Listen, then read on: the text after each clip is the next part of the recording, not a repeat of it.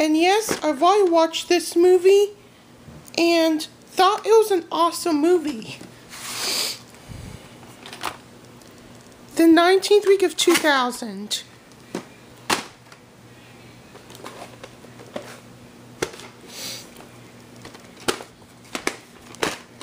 And yes, I did watch this movie featuring Bob Goldthwait, and thought it was an awesome movie.